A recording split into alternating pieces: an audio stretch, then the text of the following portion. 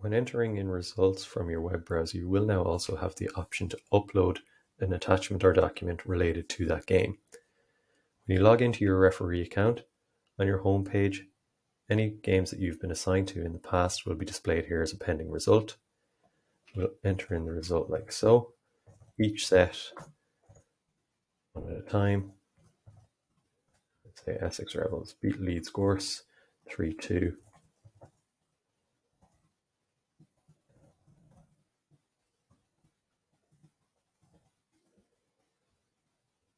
Attach your document or your game sheet, click the little upload paperclip icon here on the right hand side under your actions column. Choose a file. Click upload.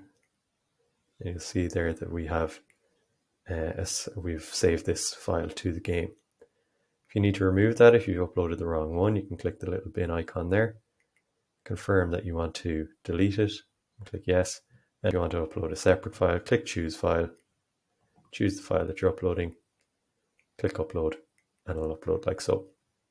Click the little X icon, close down that pop-up, click update results, and that'll submit your result along with your attached document. To see a history of the result, click your results tab up at the top. You'll be able to see the game details that you've submitted. Again, if you click the upload button, you'll see a history of any attachments that you've added.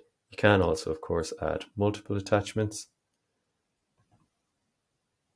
Click upload and you'll see then a history of the count of different attachments. Click the update results button.